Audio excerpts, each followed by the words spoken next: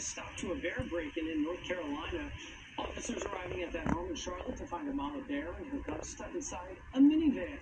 Using a rope, they managed to get the door open from a safe distance, allowing the furry family to run free.